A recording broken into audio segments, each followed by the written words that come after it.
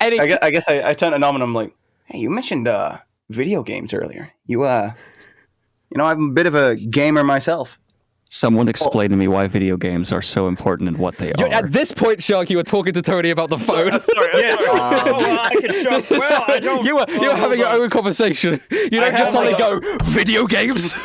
Well, All right, Show 'em Angry Birds. Show 'em Angry Birds. Show 'em while Angry we're doing it. I, I don't. Uh, I don't have that on my phone. I, I just have this bowling game. I have Tetris. I can holy show him shit! Tetris. All right, I- I- Cody and Norman. Wait, you're talking about video games. Oh my god, really? You play video games? What do you what do you play? Well, you know, I, I played a little bit of Donkey Kong. Donkey I used to play Diddy Kong Racing on my on my DS.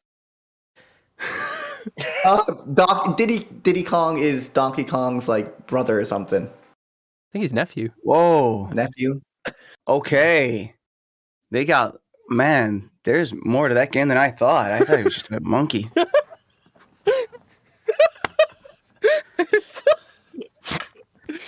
What what what other game? You played Donkey Kong? What year did you say you were from? 84. 84. So you must have played Super Mario games too, right? Yeah, yeah, yeah, yeah. Mario Brothers. One of my friends actually, he was just about to get one of those new Nintendos for for his, for his home, but uh, and then I came here, so I never got to play it.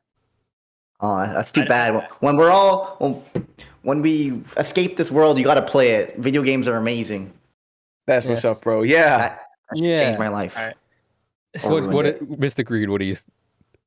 This Mario crime family you've brought up, his brothers. Okay, so, so you guys continue